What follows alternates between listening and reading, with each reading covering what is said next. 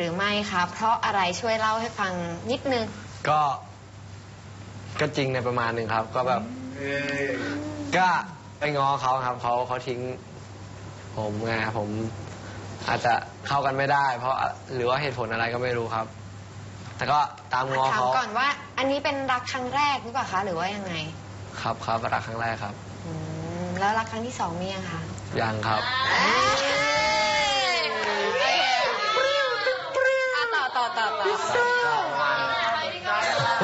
ก็ประมาณโดนเขาทิ้งแล้วก็แบบเหมือนแบบเราก็อยู่คนเดียวด้วยแล้วแบบเหมือนมันเหงาอะครับ ไม่มีใครคุยด้วยไม่มีใคร แบบให้ปรึกษาอะไรเงี้ยครับ เพื่อนก็คุยกับเพื่อนได้ครับ แต่แบบ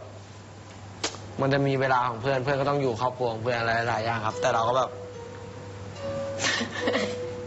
แล้วก็ผ่านมาได้ครับ เพราะว่าเข้ามาในบ้านแล้วก็แบบจนถึงตอนนี้ก็ ลืมไปแล้วครับ แต่ว่าบางทีก็ยังมีคิดถึง เพราะว่าแบบเหมือนเป็นเพื่อนกันแล้วอะครับ ค่ะ โอเค พูดถึงเรื่องความรักแล้ว เราก็มาต่อในประเด็นนี้กัน